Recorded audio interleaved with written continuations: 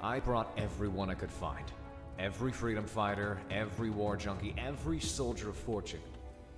Throughout the world, Cascadia has become a beacon of rebellion against the Federation. And for that, I have gathered an army. They're no Sicario, but it's the best we've got. And the rebels will take everything they can. At first, when taking this job, I thought it was only business. That I could find my glory here. But after all they've done, what they did to us, to Sicario, only blood will pay for this contract now. We intended to keep the blockade going for at least a month to drain the Federation defenders, but circumstances have forced our hand. We are moving on Presidia today. Listen up. This is it. With the supply lines cut and the blockade holding against any reinforcements, Presidia is the final Federation stronghold in Cascadia. Once it falls, Cascadia will be liberated. The city has been deeply entrenched against both land and air attacks. The firepower which exists there now is the sum of any units that have survived this long into the war. With no way out, their only chance at survival is to fight. We intend to meet them and then end them outright. The operation to take back Presidia will be separated into four cardinal parts land, air, sea, and endgame.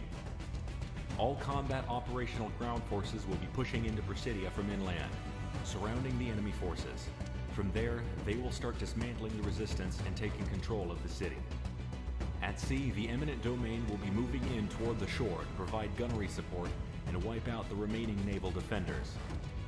Overhead, the last of the Federation air power and country will be out trying to inflict as much damage on the IF as possible. Once these factors are accounted for and our forces are in position, the final phase will commence. We will start moving into the city toward the port to wipe out the Federation from Cascadia once and for all.